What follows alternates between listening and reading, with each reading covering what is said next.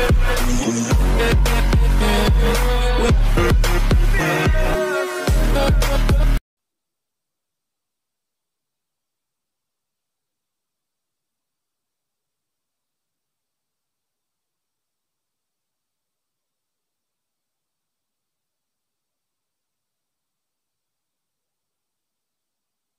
और इस तरह जब इंस्टॉल करने के बाद ओपन करेंगे तो ये कुछ ऐसा दिखेगा, क्योंकि अभी हमारे ब्लॉक में आईडी नहीं दी गई है, और पासवर्ड भी नहीं दिया गया तो मैं इसको लॉगिन नहीं कर सकता। लेकिन मैं आपको बताऊँगा कि कैसे हमें यूज़ करना है, और कैसे परीक्षा में हमारे काम आने वाला है। थोड़ा वीडियो लंबा हो जाएगा तो थोड़ा धैर्य बनाए रखिएगा। बता दूँ, अगर आप हमसे पहली बार जुड़ रहे हैं तो हमारे चैनल को लाइक सब्सक्राइब और कमेंट कर सकते हैं।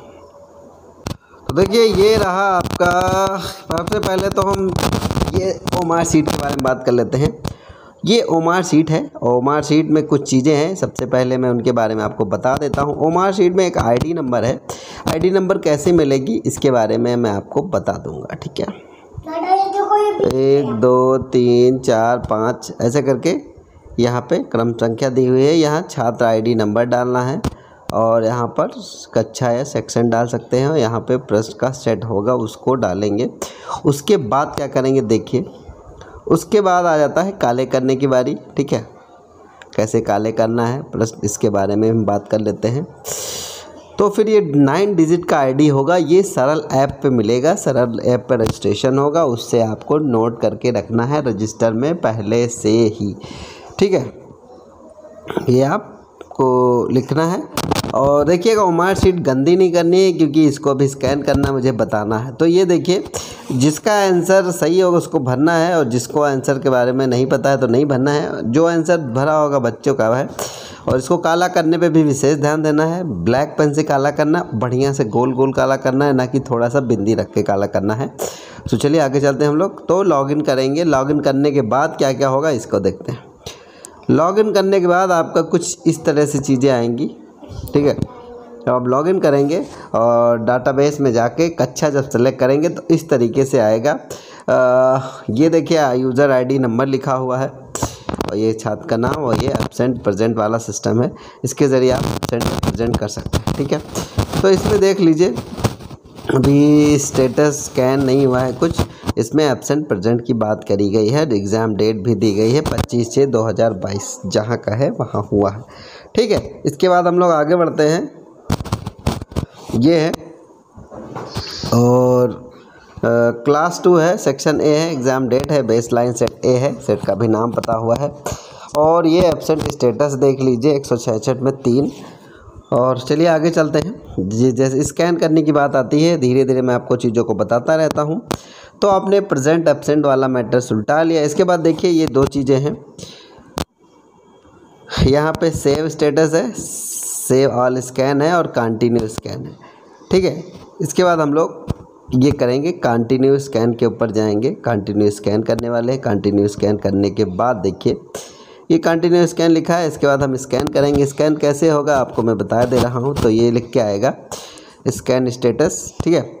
अभी ज़ीरो ज़ीरो दिखा रहा है। देखिए क्या स्कैन स्टेटस जब आप स्कैन कर लेंगे तो यहाँ ज़ीरो नहीं दिखाएगा। सेम वाला भी अभी मैं बात करूँगा इसके बारे में। आ, ये देखिए उमार शीट है।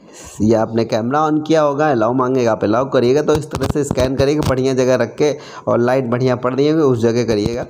तो उसके बाद ये स्कैनिंग हो रही है क्या ऑप्शन आएगा। उसके बाद ये आएगा कि क्वेश्चन नंबर कौन सा सही है, जो सही उस पर नंबर अंक मिलेगा और जो गलत है, उस पर जो है अंक नहीं मिलेगा ज़ीरो तो वो देखिए आईडी नंबर एक के बारे में बात हो रही है क्वेश्चन नंबर क्वेश्चन नंबर सही के लिए एक और गलत के लिए ज़ीरो होगा।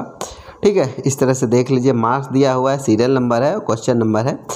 ठीक तो इस तरीके से आ जाएगा पेज नंबर दो की बात हो गई है, इसको स्किप भी कर सकते हैं। चलिए, देखिए स्कैन स्टेटस देखिए एक पन्ने में एक बार में आठ आसानी से स्कैन कर सकते हैं तो आठ स्कैन कर कर लीजिएगा। और बाकी चीज़ें आप, को अगर कोई कन्फ्यूज़न होगा तो बताएँ। देखिए, आठ लोगों एक साथ स्कैन किया गया तो स्कैन स्टेटस आठ दिखाया गया है। उसके बाद आप बैग जा सकते हैं। बैग जाने के बाद क्या होगा? ठीक है, बैग जाएँगे। बैग जाने के बाद जब बैग जाएँगे तो सेव सक्सेसफुली क्योंकि आपको सेव भी करना आठ बच्चों का आपने कर लिया है। तो आप यहाँ से बैक करेंगे। देखिए रेड लिखा हुआ है, कुछ बताने की ज़रूरत नहीं है। बैक पे करेंगे। बैक के बाद जो है ये सेव सक्सेसफुली हो जाएगा। ठीक है? ये सेव सक्सेसफुली हो गया। उसके बाद चलते हैं। उसके बाद वापस हम लोग डैशबोर्ड की तरफ़ जाएँगे। तो डैशबोर्ड जब जाएँगे वापस, आपको बता रहा हूँ डैशबोर्ड के बारे में। ये देखिए डैशबोर्ड है और डैशबोर्ड पर जब क्लिक करेंगे तो ये ये पन्ना खुलेगा। इसके ज़रिए आप क्लास सेलेक्ट कर सकते हैं। किस क्लास का होगा? जैसे एक का कर लिया, दो करिए, दो कर लिया तो तीन का करिए। ठीक है, उसके बाद ये देखिए इंपॉर्टेंट चीज़ें देखिए स्टेप क्या है? इंपॉर्टेंट चीज़ है। देखिए, शिक्षक प्रश्न पद के अनुसार विद्यार्थी का आकलन करेंगे। ठीक है? स्टेप एक स्टेप बच लिखेंगे। उसके बाद स्टेप में क्या सभी विद्यार्थियों से लिए किया जाएगा। कोई ऐसा न बचे, शिक्षक सरल ऐप द्वारा स्कैन करेंगे। शिक्षक ओमार सीट पर नाइन अंक का आईडी नंबर ज़रूर डालोगे। नगर आईडी नंबर गलत हुआ तो फिर कॉपी चेक होने वाली है नहीं। उसके बाद देखिए प्रश्न पत्र के अनुसार यदि कोई विद्यार्थी सही उत्तर दे, देते हैं तो ओमार सीट पे गोले भरेंगे, खाली नहीं छोड़ेंगे, ठीक है? ये कंडीशन है ओमार सीट के लिए। आगे चलते हम लोग। तो ये, इसके ये आकलन हो गया तीन तक का, ठीक है? अब हम आकलन करेंगे चार से आठ तक का। सेम स्टेप है, कोई अंतर नहीं है, हम जल्दी जल्दी इसको करेंगे। तो आगे चलते हम लोग, चार से आठ तक का आकलन के बारे में बात करें। उमार शीट ये देख लीजिए उमार शीट देखिए नंबर नाइन का है। आपको मिलेगी सरल से शीट बच्चों को भैया इसको डलवाते समय ध्यान देना होगा। उसके बाद देखिए, यहाँ प्रश्न पत्र सेट का नंबर भी डालना है और यहाँ पे छात्र का या छात्रा का नाम भी डालना है, ठीक है?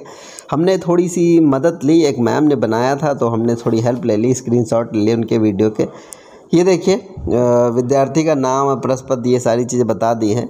आगे चलते हम लोग इस पर ब्लैक करेंगे, काला करेंगे बच्चे। चलिए आगे चलते हैं। फिर डैशबोर्ड से क्लास भी चेंज कर सकते हैं, जैसा कि मैंने बताया था। चलिए आगे चलते हैं। जब आप क्लास चेंज क्लास डालेंगे सेलेक्ट करेंगे तो इसमें से जो बच्चे होंगे, उनका यूज़र आईडी नंबर और present absent mark as a present आ जाएगा एबसेंट आ जाएगा, ये आप कर सकते हैं आसानी से। उसके बाद ये आपका आ जाएगा स्टेटस मतलब 170 में तीन एबसेंट हो गए, ये स्टेटस है। स्कैन स्टेटस की बात करेंगे, फिर स्कैन स्टेटस पर क्लिक करेंगे। तो फिर वही आंसर सीट आपको स्कैन करनी है। बहुत ध्यान देना होगा कि मुड़ी ना हो ज़्यादा और अच्छे से काला हो तो कहीं फटा हो ना हो कहीं कोई और चीज़ ना आए तो ये देखिए स्कैन किया गया। लाइट अच्छी हो तो ये देखिए आ गया। स्टूडेंट की आईडी है बेस लाइन सेट लिखा हुआ है और ये क्वेश्चन नंबर के साथ ए बी सी डी जो सही होगा आ, उसका देख लीजिए। ठीक है आगे चलते हैं हम लोग। आगे ये देखिए स्कैन आपने एक स्कैन कर दिया है। यहाँ देखिए स्कैन स्टेटस में एक स्कैन लगा हुआ है। यहाँ पे आपने एक स्कैन कर दिया है, ठीक है? आगे देखते हैं हम लोग। फिर दूसरे को स्कैन कर सकते हैं। स्कैन स्टेटस करने के बाद दूसरा स्कैन करेंगे आप, ये फिर स्कैन आएगा। तो देखिए, स्कैन स्टेटस यहाँ पे बदल गया है, स्कैन स्टेटस दो हो गया है। इसी तरीके से आगे, अगर सेव करने के लिए आप बैक पर क्लिक करेंगे, देखिए बैक पे आएगा तो ये आपका जाएगा और सेव सक्सेसफुली हो जाएगा। फिर इसी तरह सारे बच्चों को कर लेंगे आप, सेव स्टेटस भी चेक कर सकते हैं ठीक है, फिर इसी तरह सारे बच्चों का कर लेंगे आप, बैक स्टेटस करके सेव कर लेंगे।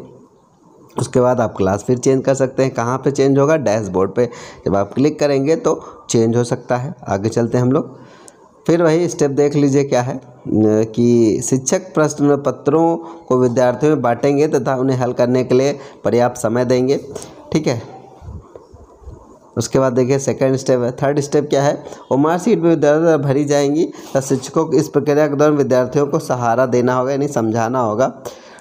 आगे स्टेप टू का बता देते हैं। शिक्षकों को स्टूडेंट आईडी और उमार गोले अंकित करने की प्रक्रिया बताएँगे। इसके उपरांत उमार सीट बच्चों को वितरित की जाएगी। समझ रहे बात को? उमार सीट वितरित करेंगे, फिर आप समझाएँगे, गलत ना बने, गलत भर देंगे तो फिर चेक नहीं हो पाएगी। फिर देखिए स्टेप फोर है क्या? शिक्षक सरल ऐप सीट का स्कैन करेंगे। स्कैन करना हमने बता दिया है। चलिए, आगे भी कई चीज़ें हैं। सरल ऐप द्वारा आकलन शुरू होने से पहले बच्चों को स्टूडेंट आईडी और नाम की सूची बना लें ताकि आकलन के दिन ओमार शीट आसानी से भरी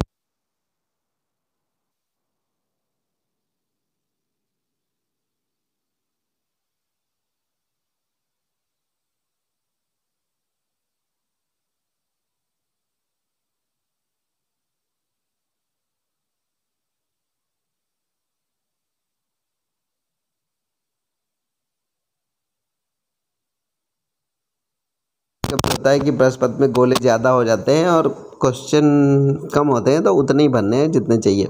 तो देखिए, कुछ मुख्य बिंदु हैं जो आपको बता देते हैं। आकलन सही तभी होगा जब आप आकलन का सही सेट और दिनांक चुनना होगा, ठीक है? सेट गलत हुआ तो दिक्कत हो जाएगी भाई।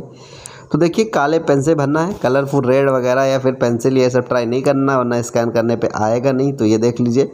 नंबर दो है